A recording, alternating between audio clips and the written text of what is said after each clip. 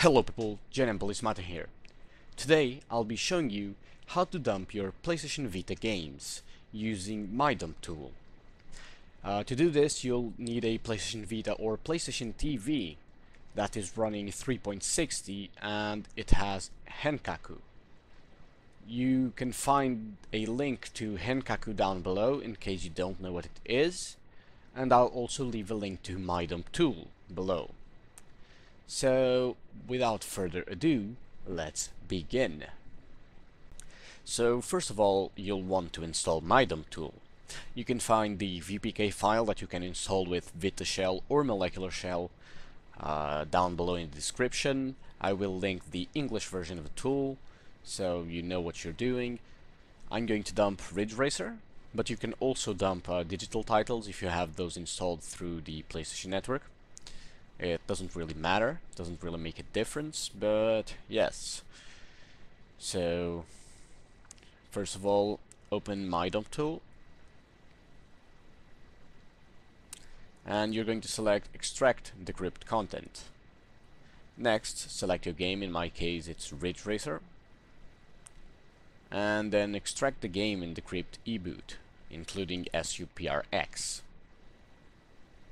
Now this will take a while. You should, you don't, you can't um, press any keys unless you're told to. So when they say setup complete, you have to press circle. Or if you want to cancel, press the cross button. Otherwise, don't touch any keys aside from that. Now, just wait for it to dump. It will take, take a while depending on the size of the game. Uh, I'm not entirely sure about the size of Ridge Racer, but it shouldn't be too large. I mean, it doesn't really have that much content. Uh, so you can see it dumping right now. Uh, please forgive me for it being out of focus. There's not much I can do about it. I don't actually own a good camera, so I record stuff with my Galaxy Tab S. So yeah, I um, haven't had the time to actually record videos lately. Uh, I've had exams and they're going terribly, well, mostly terribly, some are good, but yeah, I haven't had the time to actually record videos or actually publish videos because I've recorded this footage, footage uh, quite a while ago, but I haven't had the time. Not quite a while, it was like two days ago, maybe? I don't know. So, yeah, I'm going to cut the video here, and I'll be back in a while. So, as you can see, it still is dumping.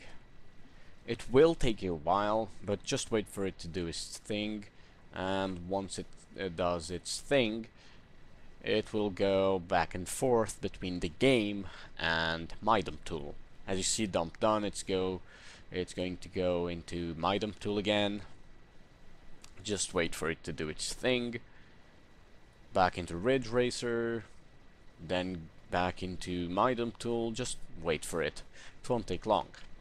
Now there are some games that will have issues or will not work at all upon installation of uh, this content I believe that the compatibility list is quite large for MaiDumpTool or this release or current releases of cur current versions of uh, dumping tools but there might be some games that have issues and those games there isn't much you can do uh, aside from hoping that a new release of MaiDumpTool or Vitamin will allow you to dump uh, proper copies of the games that actually work when installed.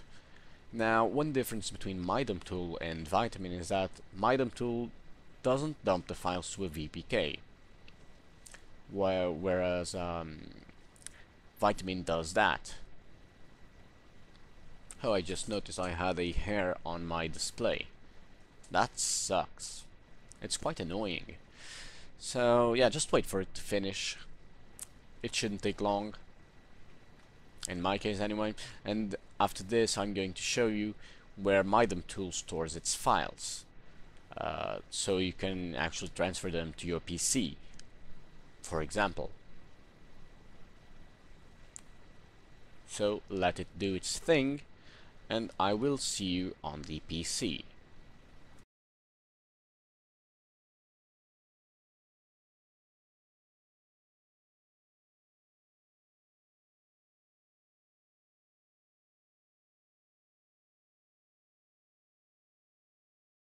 So now, as you can see, I'm just going to open VitaShell and start the FTP server. You can also use the mass storage option, but my port is broken, so I can't do that.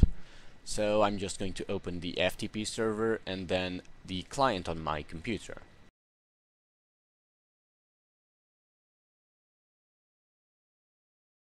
So, as you see, just go to the UX0 directory, then go over to my and there you'll find your game. In my case this is uh, the directory that contains uh, Ridge Racer so just copy that to your computer if you want. And yeah that's where it's stored. So thank you for watching guys.